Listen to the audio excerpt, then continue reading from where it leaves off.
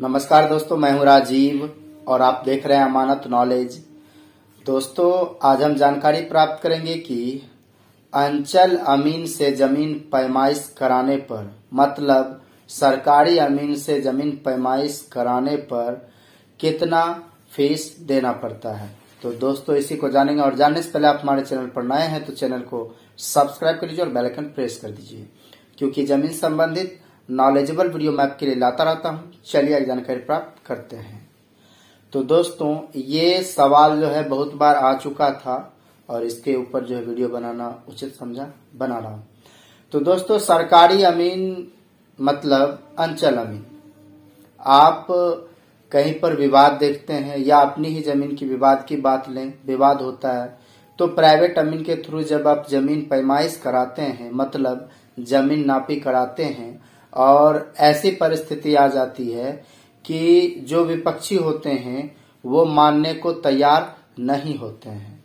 तो ऐसे कंडीशन में ज़रूरत होती है सरकारी अमीन की। ठीक है? सरकारी अमीन मतलब अंचल अमीन। तो उसके लिए आप अप्लाई करते हैं तो फिर आपको क्या फ़ीस देना पड़ता है और फिर कैसे ज़मीन पैमाइश होती है, इसके विषय में जानते हैं। दोस्तों, जब इस तरह की बात आ जाती है कि प्राइवेट अमीन की बात को नहीं मानते हैं विपक्षी लोग तो वैसी परिस्थिति में आप अंचल में अपने ज़मीन पैमाइश के लिए आवेदन दे सकते हैं।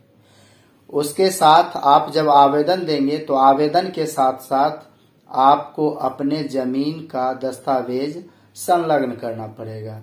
यदि खतियानी ज़मीन है तो खतियान का जेरोक्स यदि केवालगी ज़मीन है मतलब जिसे कि ज़मीन रजिस्ट्री या फिर बैनामा या सेल डीट कहते हैं, इस तरह के दस्तावेज़ हैं तो इनका जेरोक्स साथ ही करंट लगान रसीद होना चाहिए। मतलब तत्काल का, तत्काल जो वर्ष चल रहा होता है, उसका लगान रसीद का जेरोक्स ये दोनों कागजात जो है, आपको आवेदन के साथ संलग्न करना है।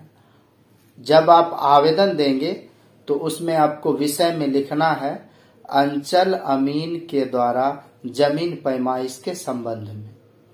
इस तरह से आप आवेदन बनाएँगे और फिर डिटेल्स उसमें आपको लिख देना है। ज़मीन का जो भी आपका दस्तावेज़ है, उसका भी डिटेल्स उसमें मेंशन कर देना है। आप जब आवेदन देंगे तो फिर उसे सीआई रिसीव करेंगे और फिर वो प्रक्रिया में चला जाएगा। जब प्रक्रिया में जाएगा तो आपको एक एनआर कटाना पड़ेगा, ठीक है? एन आर जो है, वह एक फ़ीस है, जो कि आपको पंद्रह सौ रुपये पे करना पड़ता है, फ़ीस के तौर पर। और पंद्रह सौ रुपये फ़ीस जब आप देंगे, तब फिर आगे की प्रक्रिया में आपको, आपका दस्तावेज़, पेपर जो भी है, वो चला जाएगा।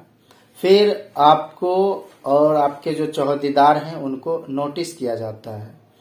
उससे पहले जो है समय सीमा ऑफ़िस में ही तय किया जाता है कि किस तिथि को पैमाइश होना है और उस डेट के मुताबिक जो है नोटिस किया जाता है आपको भी और आपके चौहदीदार को।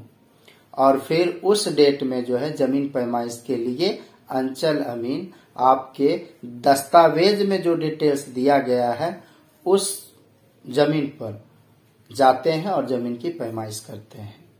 फिर जब ज़मीन पैमाइश हो जाती है तो उसका रिपोर्ट जो है, अंचल में दे दिया जाता है। आप वहाँ से उस रिपोर्ट को निर्गत करके, जो भी रिपोर्ट है, वह वैलिड माना जाएगा, ठीक है?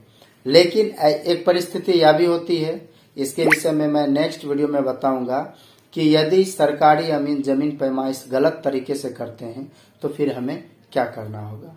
फ़िलहाल इतना ही। मिलते हैं नेक्स्ट वीडियो के साथ, तब तक के लिए अलविदा। थैंक्स